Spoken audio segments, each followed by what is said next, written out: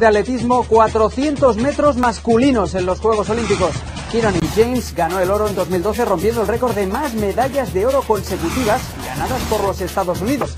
La nación norteña tiene récord de 20 medallas de oro en el evento. Va a ser para Van Nicker. ¡Sorpresa!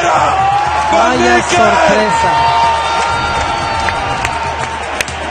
¡Qué carrera de Van Nicker! Wade Van Nicker. Nuevo récord mundial. Nuevo récord ¿Cómo? mundial.